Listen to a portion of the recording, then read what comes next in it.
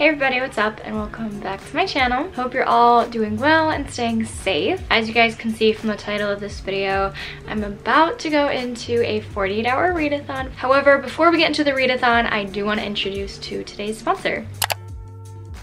Book of the Month was so unbelievably kind enough to send me their Book of the Month picks for July. But before we get into what those books are, I'm going to explain to you guys a little bit about what Book of the Month is. Book of the Month is a monthly book subscription box that sends you beautiful quality hardcover books that are both new and early releases. One of the best things about Book of the Month is that they send you a beautiful hard copy book that is one, brand new, and also a lot cheaper than you're gonna find in other stores around you. One of the things that I personally love about Book of the Month is that they pick books and authors who probably aren't very well known and that you may have not heard of because of all the popular books that are out there on BookTok and BookTube. So not only is it good for the authors to get exposure for their books, but it's also good for us readers who are wanting to kind of get some new books that aren't very, you know, well known. The way this subscription works is members get to choose a book every month. So for example, this month there are five books that you can pick from. On the Book of the Month website, it also tells you the genre of the book and also a short description about what the book is about. And new members can actually get their first month, which means their first book,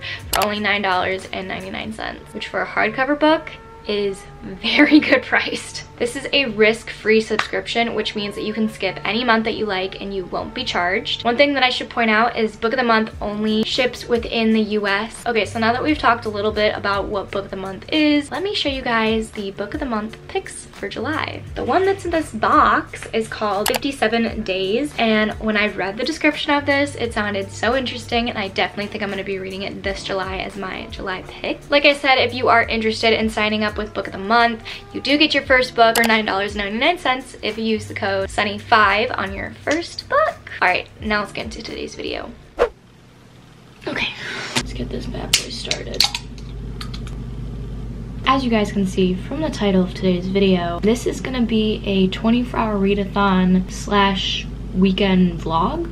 All right, so starting off with current reads that I have like been reading for the past couple of months, but haven't yet finished, and I really really want to get through them. First one being the Lost Apothecary, which is actually the Discord's book of the month pick. Um, we're reading Lost Apothecary. I'm about 100 pages in and I have 200 pages left in it, so I really, really want to finish this one tonight, and I know I will. I want to read the Off Campus series, all four of them. Like, I mean, and I feel like they are short enough that I'll be able to get through all of them in the 24-hour readathon, maybe three. Those are all the books that I want to read this weekend. Of course, I'm going to start out with The Lost Apothecary uh, just because I'm 33% of the way through according to Goodreads.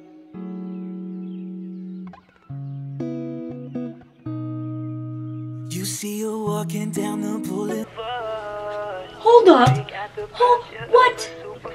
My husband's cousin and mistress.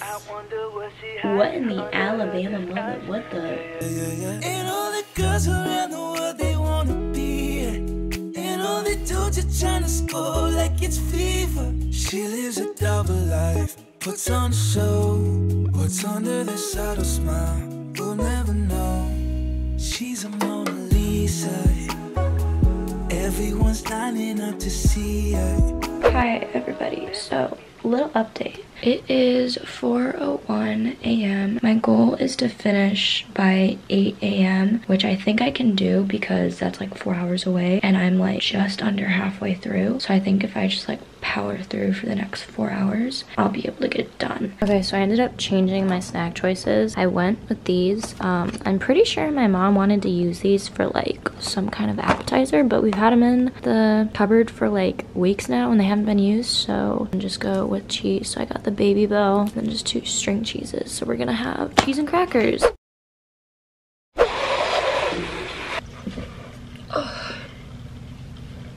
You're welcome. I drink your Red Bull.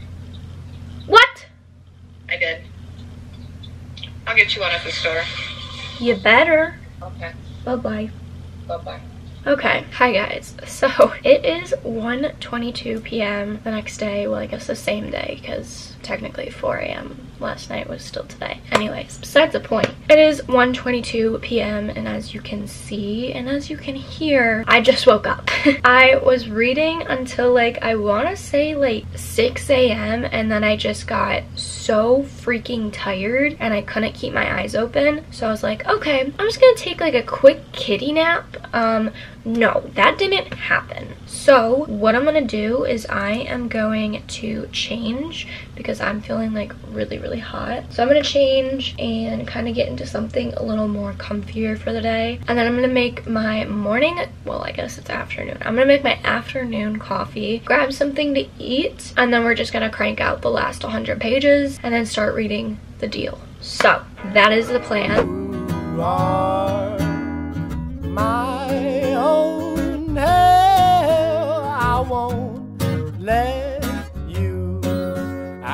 Sight it's 6.12 right now and I literally just finished The Lost Apothecary about like 12 minutes ago. this book, oh my gosh. It was beautiful starting out, it was beautiful in the middle, beautiful in the end. 110% recommend it. It is just so beautifully written. It has a lot of historical aspects to it but also murder mystery aspects to it but also women empowerment aspects to it as well. And it's just so freaking beautiful. Anyway, that was The Lost Apothecary. I loved reading it so much. I gave it a 5 out of 5 stars. Hi everybody, so it is some time later. I don't exactly remember the last time I like updated you guys, but it's 2.35 a.m. in the morning right now. I just got done watching the first like two episodes of Queen's Gambit because a lot of people have been raving about it and Aiden told me to watch it, so I finally watched it. I watched the first two episodes and I really really like it, um, and I was to continue watching it, but I haven't read the deal yet. So what I'm to do is I'm going to take a break from watching Queen's Gambit, read for a while and then I also have a Red Bull. I think I'm gonna crack this bad boy open and start drinking it and read my book.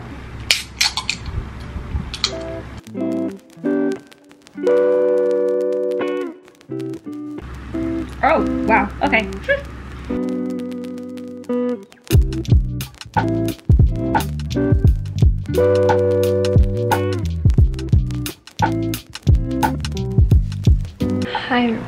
Is about 8 in the morning and I'm about 100 pages into the deal and oh my god, for the past like I want to say 4 or 5 hours I've just been squealing like a little schoolgirl. The tension, the building of the friendship, oh Oh my god, I love this book so much so far and I have a very strong feeling it's gonna be a five star read for me.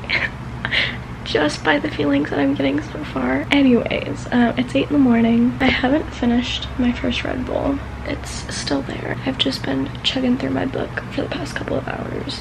Hi everybody. It is around 11.22 right now. Um, I haven't done much reading since I woke up from my nap and ate dinner. I've been watching TikTok a lot, but um, I think I'm gonna read um, as much as this as I can until I like physically cannot stay awake anymore. But yeah, so um, I this vlog was entertaining, but I hope you guys enjoyed it. And if you did, please be sure to give it a thumbs up and leave a comment down below. Yeah, I'm gonna go finish this book as much as I can. Bye guys. I used to take myself out on dates. Open my own damn doors, pay for everything on my plate. Sometimes I'd even get the steak. Cause I got it like that. Always had my own bag, never needed no man to rely on. Got two good shoulders to cry on.